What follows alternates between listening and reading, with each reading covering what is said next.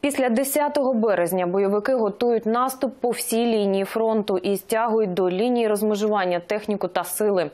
Широкино знову обстрілюють, є поранені.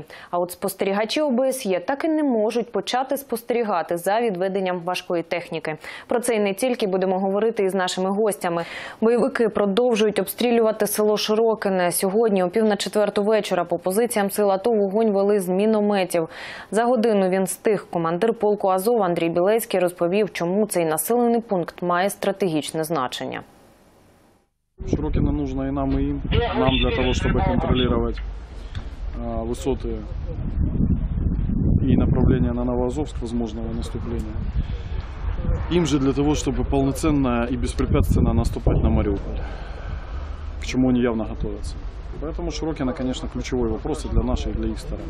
Азов, Донбасс, ССУ сейчас отвечают. Дай бог, сломаем в ближайшие дни. Бойовики готують наступ на сході України по всьому фронту після 10 березня. Про це стало відомо з перехоплень переговорів незаконних збройних формувань. Повідомляє прес-служба полку Азов. Чи володієте ви такою інформацією? Якщо ми дійсно володіємо такою інформацією, чи ми готуємося до цього, Константине? Ну, Любую информацию нужно проверять. Э, У нас тоже есть такие данные, но насколько они достоверны, пока сложно говорить. Там боевики между собой разговаривают, ну, разговаривают, разговаривают. А что будет на самом деле, мы уже увидим, я думаю, в ближайшие дни. Э, То, что они плевать хотели на все минские угоды, это всем реально понятно. А Вот, э, да, по всей линии фронта, может быть, они там и не воюют. Вот. А что касается Мариуполя, ну, им нужен Мариуполь, им нужно показать. Они уже показали нам э, работу свою и в аэропорту, и Дебальцево они нам продемонстрировали. Теперь они хотят взять в блокаду, насколько я так себе думаю, Мариуполь. Які міста під загрозою зараз в першу чергу, які вони несуть стратегічну цінність для них? Э, Широкино, это однозначно высотка. И туда дальше э, прибрежная, по-моему, как там называется, я уже не помню название. Ну, там много чего. Да, ну там, там много, да. Виноградная, Лебединская. Да, там они, они, они будут просто обходить Мариуполь, потому что сам Мариуполь заходить, э, ну, это о- очень большие потери. А вот, а вот они его вот а, будут Север, обходить в да, сторону да. туда, в Бердянску, вот так вот прям огибать. Для этого сил надо у них- взять Волноваху. Да, да, и Олексію. Волноваха. А, і Артемівськ. Ну, если брать по всему, по всей линии фронта, то наиболее проблемные места это счастье. Потом идет Артемовск и далее на Лисичанск или на куда они выберут на Краматорск-Славянск. Точно Авдеевка. Куди Е, виберуть, ви не думаєте, що вони можуть піти м, масово? Они, они не могут пойти массово. Смотрите, вот вся эта кампания год нас убедил в чем? Что на большие широкомасштабные вторжения им сил не хватает. То есть это к- ограниченные действия на небольших участках. Вот весь этот Дебальцевский котел это 25 на 8 километров, на 10. Да? Месяц они там возились, клали своих э, этих самых, положили несколько, пару тысяч бойцов. И теперь передышка. Вся эта кампания так организовывается. Вот сначала они накапливают потенциал, потом 14-20 дней это интенсивные боевые действия. И потом там 2-3 месяца снова восстановление боеспособности.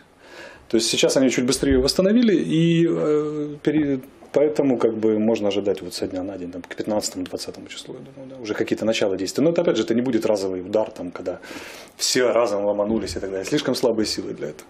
Там фронт 485 километров протяженность фронта, они имеют примерно армейский комплект. Как раз армия может вести боевые действия по логистике 14-20 дней. Вот на это их и хватает. То есть нас ждет обострение на очередные 2-3 недели.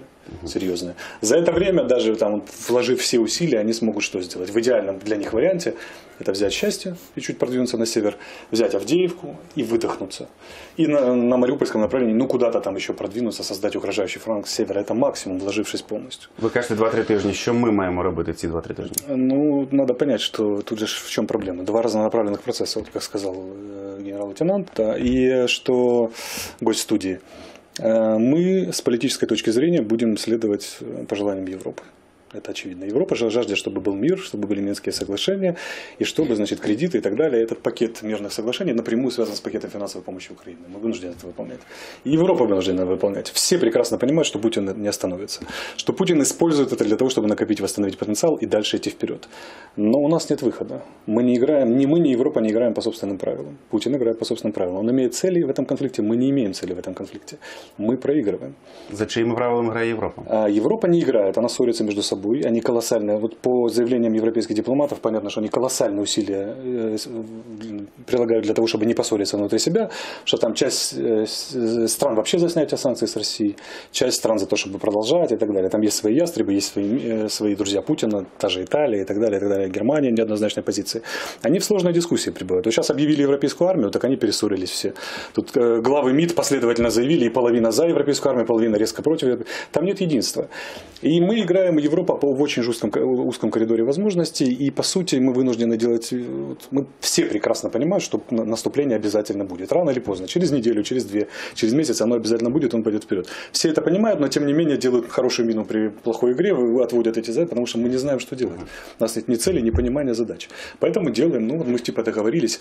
Мы понимаем, что Путин нас обманет. А что делать? Не выполнять Минские соглашения? Ну как-то вот, а мы же сами ну, вот, вот в таком положении, понимаете? Дякую, дякую, Константине. На вашу думку, чи можемо ми зупинити зараз і не віддати та- той самий Артемівськ е, інші міста, якщо нам не дадуть зброю, ті самі Сполучені Штати? Та У нас е, зброї то у нас достатньо. У нас достатньо підприємств, які виготовляють високоточну, якісну зброю. Этого у нас вполне достаточно. А вот и людей уже подготовленных у нас достаточно. Э, То есть, как бы здесь в Польше играет э, воля командиров, будем так говорить, э, решающих сверху. А Вот. э, Ну и самое главное, то, что мы вынуждены играть по тем правилам, которые нам навязали. На вашу думку, хто нам нав'язує правила? Ну вот Европа нами, за- она, она очень сильно завязана экономически с Россией, и там обещают, наверное, совсем дешевый газ. Там даже хуже. И вот они же поднимают там сейчас и национальные движения, там европейские финансируют. Они очень много всего делают. Путин не жалеет денег ни для кого. Для Европы неприемлемый вариант, когда Россия проигрывает. Да, Потому да. что администрировать хаос, который образуется на месте свалившегося режима Путина, контролировать это ядерное оружие, они не в состоянии, они понимают, что у них нет для этого ресурсов. И Штаты не очень хотят, потому что они понимают, что если Европа серьезно вяжется в это, то наводить порядок, как всегда, придется Соединенным Штатам в конце. И никто не хочет этого, никто не хочет связываться. Путин в идеальной политической ситуации сейчас, иначе бы этого всего не было. Он понимает, что можно наступать, потому что никто не хочет серьезно вступать в драку, и все думают, ладно, ну, останов... ну возьмет Харьков, возьмет Мариуполь, ну когда-нибудь уже он же остановится. И пока они так думают, он будет наступать. Вот. Должен произойти психологический перелом, когда все поймут, что все-таки дипломатическое решение невозможно, и надо бить по зубам. Не в том смысле, что американцы сделают бесполетную зону, начнут наносить удары, в том смысле, что они поймут, что это военное решение нужно конфликта. А потом закрепление его дипломатическим путем, после того, как Путин будет остановлен именно военным путем, и поймет, что продвижение бесперспективно. Но никто не хочет в этом себе признаться. Що Никто. зі зі зброєю? Э, С нашей, э, которая США. творится? Э, ну, я думаю, что падение какого-то ключевого города, например, Мариуполя, или большие проблемы Харьковской области, или там захват Авдеевки, счастья, снова возбудит дискуссию об оружии. Но возбужденная дискуссия, это не означает, что нам дадут оружие. То есть, скорее всего, будет второй раунд дискуссий. Да, давайте действительно дадим, но ну, дадут или нет, это большой-большой вопрос. І якщо дадуть, то не найближчим часом. Ну, проблема в том, что мы же не можем внятно сформулировать то, что нам нужно. Реально у нас железо, стреляющего вот так. Есть определенные проблемы по определенным номенклатурам вооружения, но у нас есть чем наносить поражения и так далее. Нам нужны средства интеграции. Для того, чтобы, поймите, когда мы в обороне, в чем проблема обороны? И начинается борьба потенциалов. Понимаете, в конце концов, если пассивная оборона возьмет потенциал, мы не можем себе позволить пассивную оборону, по потенциалу мы России проигрываем однозначно. Нам нужна активная оборона. Это целый комплекс мероприятий, позволяющих превентивно наносить удары по противнику. Мы этого не делаем, и мы в борьбе потенциала постепенно проигрываем. Они, мы стоим как дураки на одном месте, они, они как котлет у нас вертят на этом самом, но люди позволяют, считают, «А, здесь отрежем, здесь отрежем, тут переконцентрируем, сюда создадим усилия. Нападающий же выбирает место и время нападения, он в более выгодных условиях. Ржавых танков в России, которые можно за месяц привезти и кинуть к нам, полно, больше, чем у нас. И дураков, которые там готовы воевать, тоже хватает. Проблема в этом, в том, что мы или переходим к активной обороне, или мы будем поsto- постоянно отодвигаться назад. Даже если все будут сплошь и рядом проявлять мужество и героизм, а командование будет про- проявлять чудеса э, оперативного управления войсками, а оно их явно не проявляет, между прочим, еще к тому же. Так что тут нюанс. Э, Вот у нас есть завод Артема, он производит авиационные ракеты в Киеве.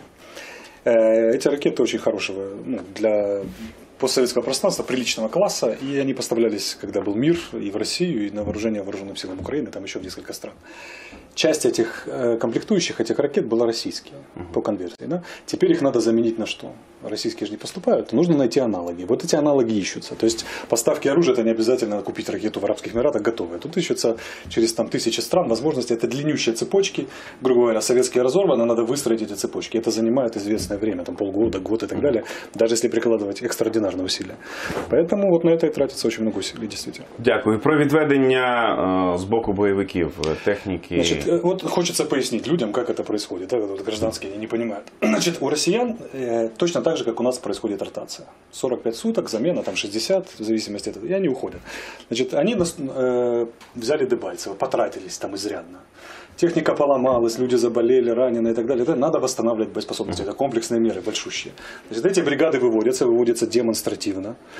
Лайф- день? да, это в днем, об этом снимают э, информационное сопровождение, дипломатическое сопровождение. ОБСЕ фиксируется, приглашается и так далее. И потом разными способами, по одной-две машины, железнодорожным путем, замаскированные и так далее, возвращаются новые бригады на позиции, да, заходят, которые по ротации пришли сюда. Часто они не заходят, они стоят в готовности там на границе с Россией, и в нужный момент там перед, за, за два дня до часа Ч они выйдут, там 60-80 километров надо пройти, чтобы оказаться в районе боевых действий, а по частям так и 40. Понимаете, да, и имитация происходит отвода процесса, да, а кроме этого существуют большие и малые карусели. То есть для того, чтобы вскрывать нашу систему мероприятий, мы же ведем разведку, они хотят на это все видеть, они крутят большие карусели. Запускается техника на 60 километров. Она по- крутится по кругу, несколько раз появляется, смерчи, например.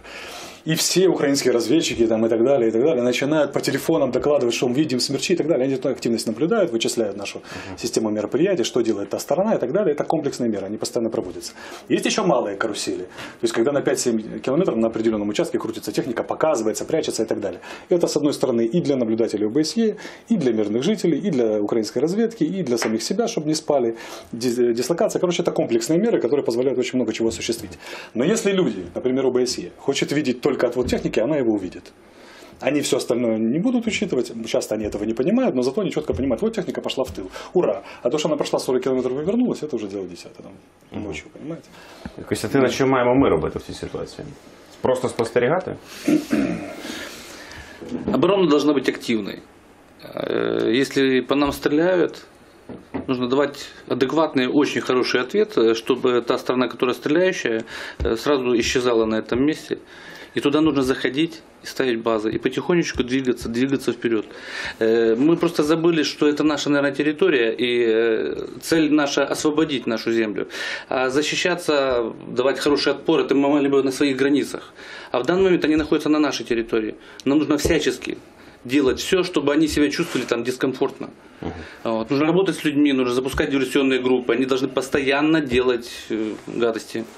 Стосовно збільшення збройних сил України до 250 тисяч, ми м, ви погоджуєтесь з тим, що ми маємо кількістю збільшувати? Чи можливо потрібно говорити про якість, про навчання, про можливо про конструкторів, інструкторів, Тут тренерів? э, мы, мы делаем то что, закордонных. то, что можем с какой-то стороны. Естественно, что нам бы всем хотелось компактную, мощную, управляемую мобильную группировку, вооруженную высокоточным оружием, которая как, э, там, по силе равняется американскому армейскому корпусу, перед которым летит 270 вертолетов боевых, да, и сносит все, что там есть. Воздушная, наземная наступательная операция. Но у нас такого нету.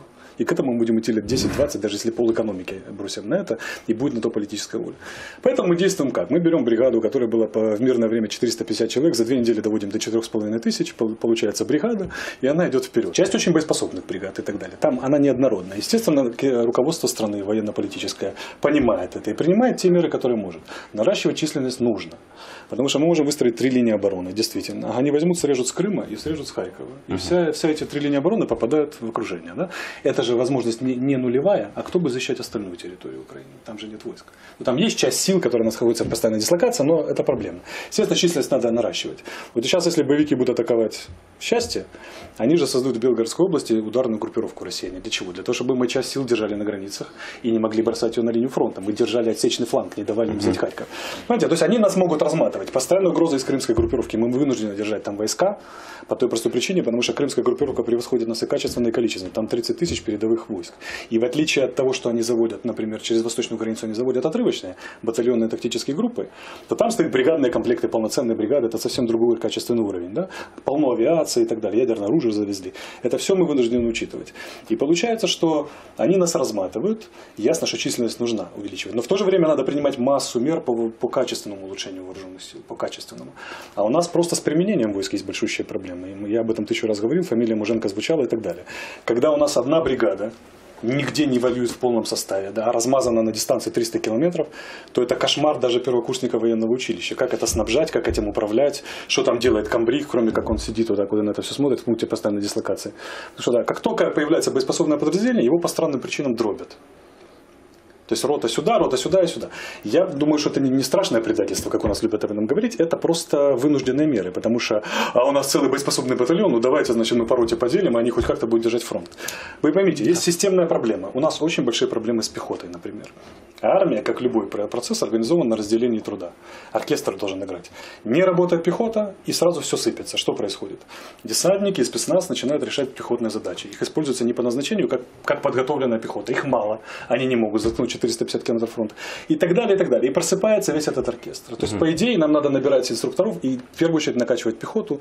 А с другой стороны, летчики скажут, что оно нужно свое и так далее. Короче, это должен быть комплекс государственных мер. Каждый день должны сидеть люди об этом и думать. Где ставка Верховного Главнокомандующего, который об этом должен думать? Костянтин Вінницький, головний командир УНСО. Пане Костянтине, дякую. Та військовий експерт Олексій Арестович. Олексію.